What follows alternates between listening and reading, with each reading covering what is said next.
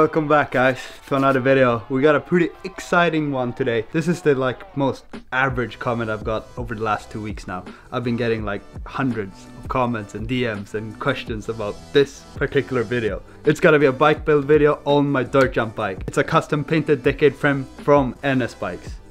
And I think you guys are gonna be pretty, pretty excited about this one. The bronze gold custom painted NS Bikes decade frame. I'm like blown away about this frame. What do you think, Theo? This is the coolest frame. The color is insane.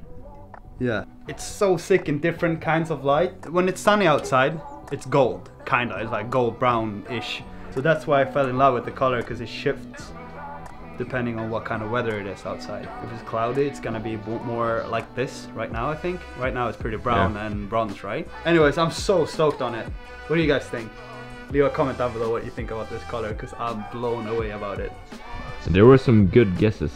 a, a lot of like guesses on bronze, which is fairly clo- close because this is like bronze gold.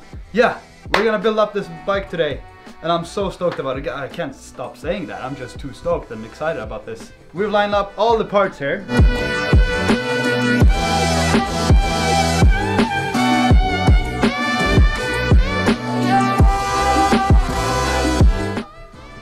Yeah, we're just gonna do a proper bike building video today and for this bike we don't need to go to a bike shop and get it built up. I think I could manage to build a jump bike up because I do that a couple of times a year. Yeah. We're probably not gonna do it perfectly anyways, but I think we could pull it off. Should we just get right into it? Yeah. What do we start with? I have no idea what we're gonna start. Uh, on a jump bike it's pretty normal to start with the crankset I think. Yeah. That's what I thought. Okay, let's do it. As I said in my uh, enduro bike build video, I'm gonna run the, the new crankset system and bottom bracket from SRAM, which is called uh, Dub. And I'm gonna run the XO1 with the silver logos.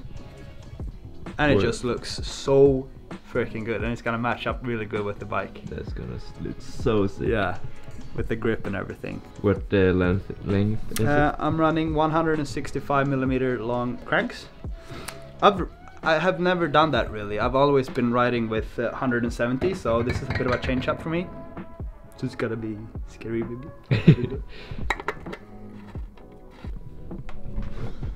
oh, it works perfectly. Nice. not too much, not too little, just like the perfect amount. So a crank stopper for you guys that doesn't know what a crank stopper is is I'm put, putting a piece of rubber between my bottom bracket and the cranks because that makes my cranks not spin when I do tail whips and kick the bike around because you don't want the pedals to go around because then you'll miss them and you will never be able to get kids when you get older if you land on your balls. When you're screwing on this thing, uh, you kind of like determine how much you want to press the crankset together or like you want to move it that way. So the more I screw here, the more I move the crankset that way, and that creates more pressure onto the rubber, and that's obviously gonna make it more, more of a crank stopper. So that's an insane combo, Theo. Do you see that? yeah, that looks so cool. Perfect crank stopper. Yeah. Wow. I'm super stoked about the fork actually. I'm gonna run this like gunsmoke slash gray slash I don't even know what color it is, like silver probably most people would say. And I had this fork in mind because I saw some photos on it like early winter. I had this fork in mind when I picked the color for this frame because I mean just look at it. It's just like a pretty subtle match. A lot of people would probably argue that a black fork would fit better. And I know a lot of people will comment that, but what's the fun in that? I've had like five black bikes, like fully black bikes. And this one's like way cooler. If you see this color in real life and this color in real life, the match is like insane, right? Yeah. And I was fortunate enough to get like matching logos on the wheels from Novatec. These are matching with the silver. And Chain. chain, disc, and like yeah, silver details all over the bike, but like saddle ones. Okay. And I'm gonna run uh, another Chromag stem because I'm, yeah, yeah, the new, yeah. it's coming, it's coming. The new brand is launching soon. be patient. Things are coming. Okay. What's your technique? Today's technique. Last time I cut one, I had a tool for this. And I didn't really like that because that's no challenge at all. Like- So I got pipe cutters here, two of them. But just to annoy people, I'm gonna use the saw and do it bad. Because there's no chance on this planet that I'll do this perfectly straight. Looks kind of straight. Let's go for it. Oh my god. No, I don't want to see. Uh, Can you tell on the camera? yeah, you guys can see it's it's. well, Next mission. yeah, and this is literally the worst thing on the whole bike to mount the star nut. I hate mounting my star nut. You actually want to see how I do the first thing. Yeah, show me. Oh, oh, oh. Well, That's how it's done. Well, it's not straight, but it's like almost in there. Ki- kinda yeah, good, yeah. It's, it's pretty good.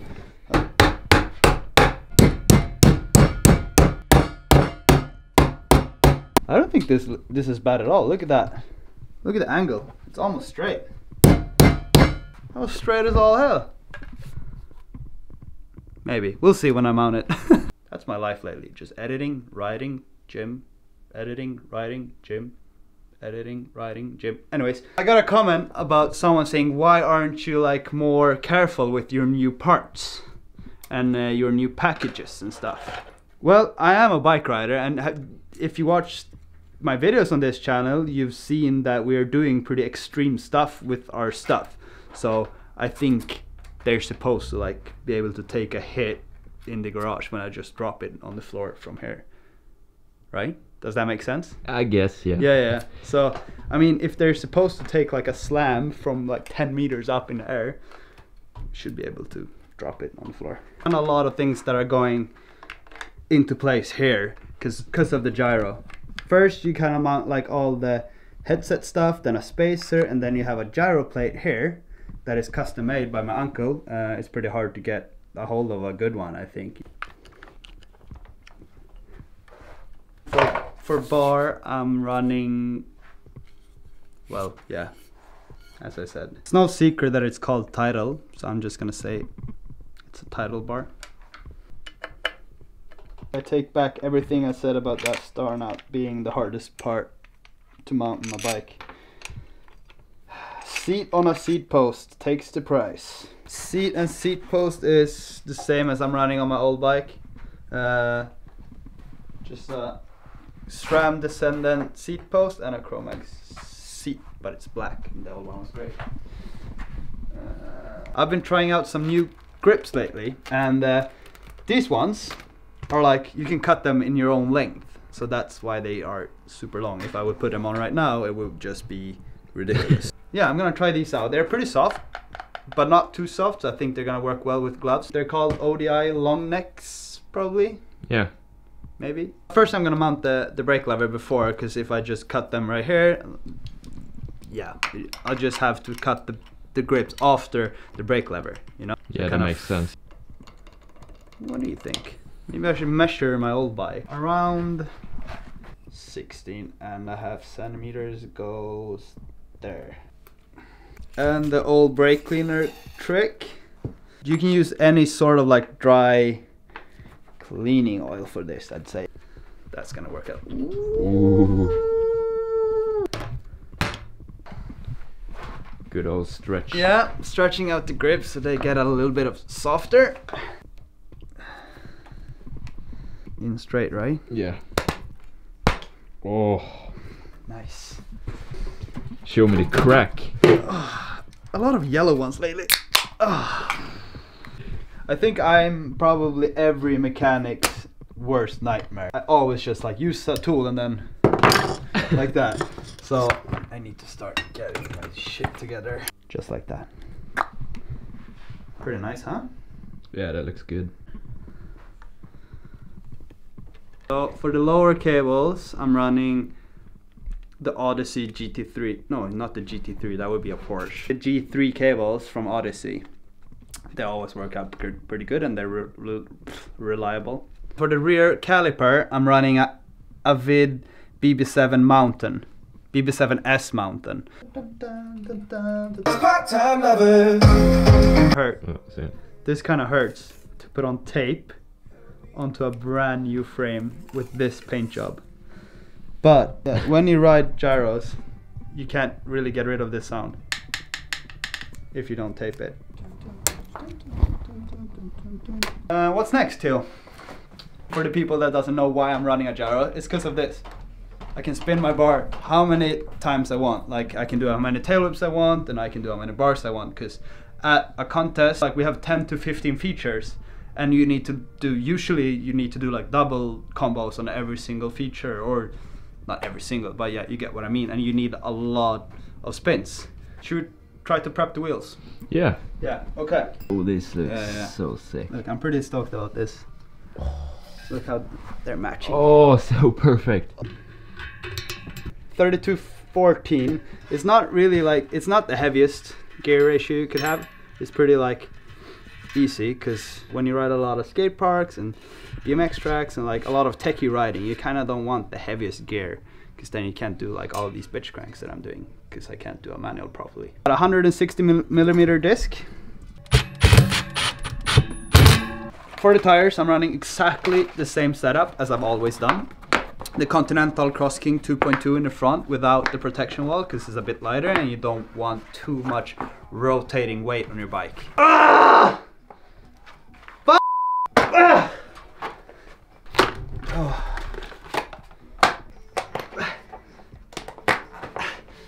Yeah! Not even hard. And for the back wheel, my tire setup is the Continental Race King 2.2 with the protection walls. Protection walls are pretty much just like a bit thicker sidewalls on the tire because that holds up a lot when we do like when we land sideways and stuff so they don't explode when we we're being sketchy. Ah! Ah! Ah! Just have to mount the chain, put on some pedals, then put on the front wheel and then we're done. But I mean, look at that. Oh my god. Okay, so for chain, I am running SRAM PC X61 11 speed chain.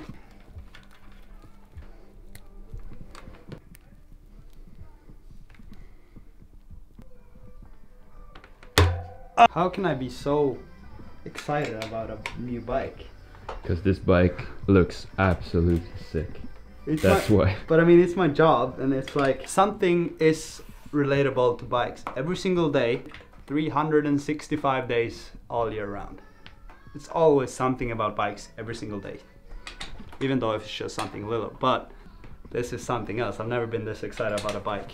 Just the like freedom of just like being able to pick whatever I want and like decide colors and like just set up a bike how I want it to. Like, what is this, Theo? Is this you? Some black NS Bikes Radiance pedals, as always. Like I love these pedals. I would, I'm never gonna change. I feel like I'm, like you guys probably think that I'm just plugging everything because they're my sponsors, but I like I'm literally like, it's my favorite parts.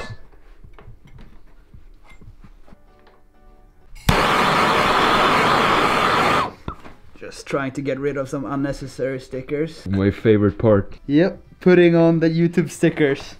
I don't want any red on the bike, but I mean, you can't ditch the stickers, right? Last part deal! Get the front wheel on. Ah! Woo! Oh my god. That's it! Yo! It's officially 100% completed. Wow, Theo.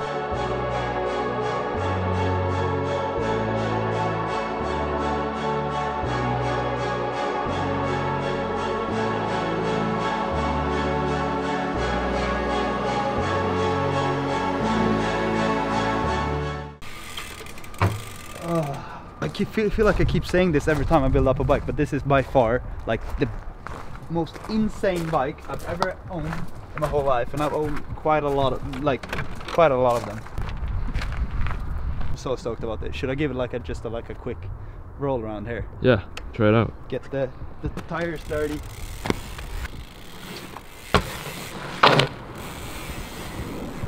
So insane.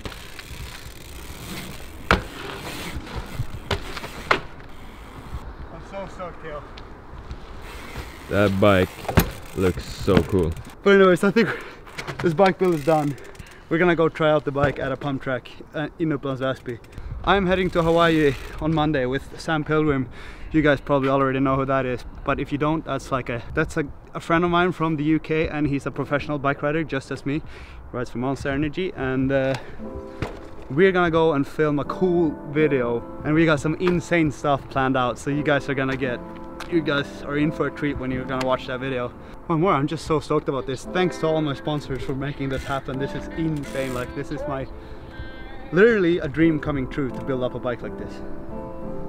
And I'm so, so freaking stoked about it. Hope you guys liked this video. I know you guys have been itching for this bike build video of this bike in particular. So hope I lived up to your expectations and made a cool video for you guys. Thank you guys a lot for watching my video. Remember to like, subscribe and comment on this video if you want. Like, I mean, I won't judge you if you don't and I won't get mad at you. I just, yeah, whatever. But anyways, thanks a lot again. Uh, see you in the next two days. Is that gonna be from Hawaii or is it gonna be, I don't even know. We'll see. We'll see. Anyways, thank you guys a lot. Peace.